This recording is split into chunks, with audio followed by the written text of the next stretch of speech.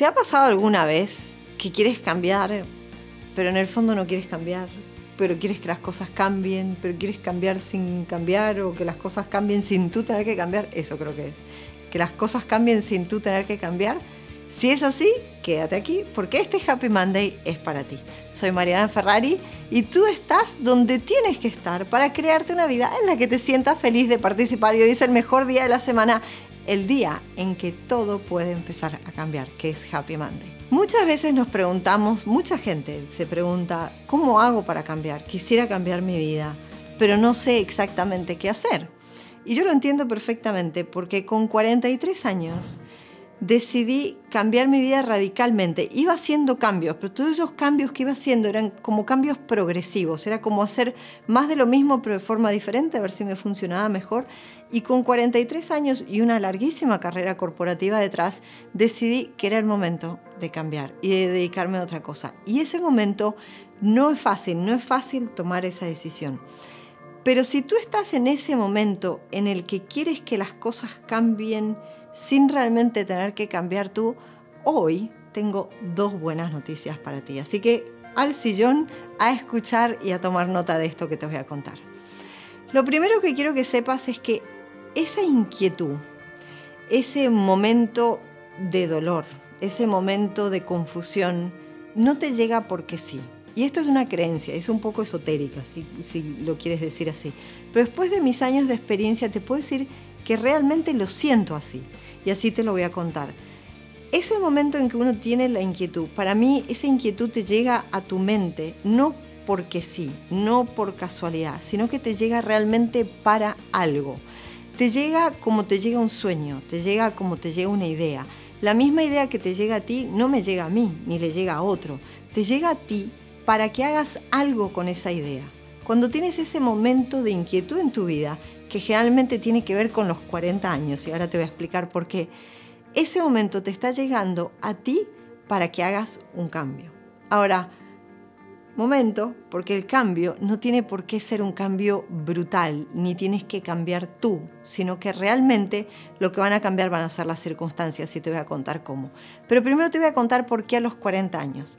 Yo digo que a los 40 años la persona tiene como un momento de volver a nacer. ¿no? Cuando nosotros nacemos, venimos esencialmente con un propósito a esta tierra. Venimos como bebitos felices, sin ningún daño, con una sonrisa en la cara. Bueno, sí, empezamos a gritar porque nos sacaron de adentro, pero más que eso no nos pasa, ¿verdad?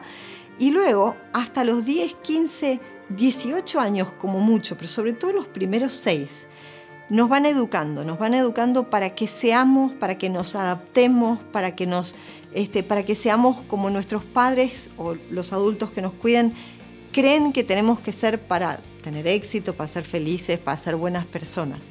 Entonces nos van enseñando a adaptarnos y nosotros como venimos como una esponjita, vamos aprendiendo a ser lo que otros creen que tenemos que ser.